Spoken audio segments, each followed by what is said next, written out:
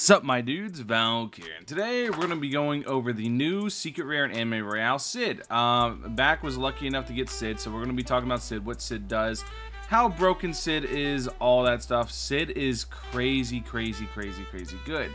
And we're going to be talking about that today, what Sid's passive is, how it works. Um, Sid's very hard to get. Sid is from the capsules inside the Halloween event. I've not been lucky enough to get Sid yet, but Back was. So we're going to go ahead and review Back Sid. So basically, uh, Sid works like this. On placement, he's 2,000 to place, and on placement, his first upgrade is 50,000. However, the way his passive work is called holding back. Next upgrade can be bought for however much yen you currently have.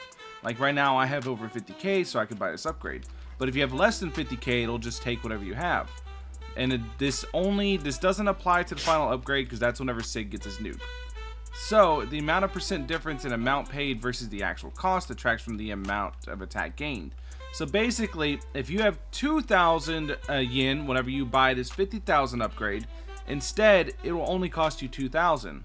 But you're going to only get like 5, I believe that's like 5% or 2% of the attack value you would have to get otherwise. Otherwise, you get a really fat attack stat. Um, let's go ahead now. As back to upgrade. Upgrade, please. so now you can see the next one, still line, uh, still very short range, but crazy, crazy damage. Next upgrade is 100k and 410,000 damage. Upgrade, please. Alright, so next one, he turns into a circle. Next upgrade is 150,000, and you can see 409,000 turns into 614,000 damage. And now we say, upgrade, please. And now we're going to start selling our stuff to let Sid kind of shine. Let Sid have his moment, if you will. Um... By the way, Warlord doesn't work on Sid. so, now we're going to let Sid kind of carry. Um, yeah, they had a Warlord unit down. Sid doesn't, like, Warlord doesn't work on Sid because he has a lot of price modulation, so it just wouldn't work. Um, upgrade, please. So, Sid now has this. He has his last ability, which let me turn unit effects on so you guys can see. I normally play unit effects off. But here you guys can see his last ability. And then next upgrade, and no matter what, this next upgrade costs 400,000 and gets him to this attack stat. So, let's see if you have enough. Um, upgrade again when you can. So basically, it's going to be like about 10 more waves uh, to upgrade. It's going to be quite a bot. Oh no, 49. Yeah, yeah, 49. That's a crazy amount of damage. You guys can look at the amount of damage Sid does. 2 million a hit on a 5.6 SPA. He just cost 900,000 to actually max out. So you're really not going to be able to get him in less, like fully max out in less than 30 waves.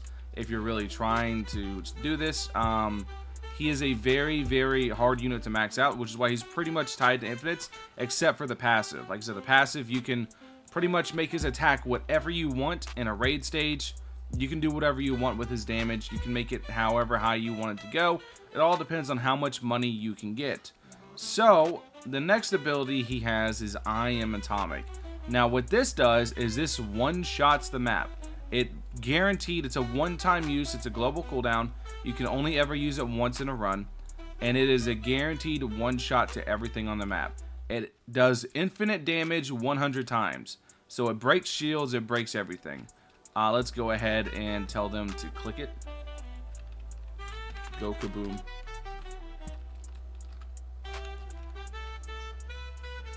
And this is the animation. Oh, he's got the squeaky voice because two times. but look, this is the animation. Kaboom.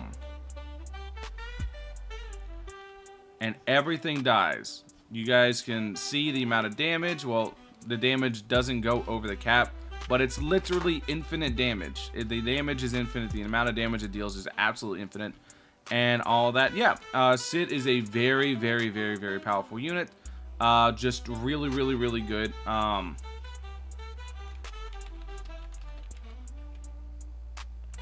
yeah, just really good. I was to say sell and replace so you guys can see like the fact that you can just push Sid to the max uh, without even spending any money. But then you wouldn't get any attack. So yeah, anyways, let me know what you guys think in the comment section below. Uh, thank you guys for watching as always. Hope you guys have a wonderful rest of your day. I'll catch you guys in the next one.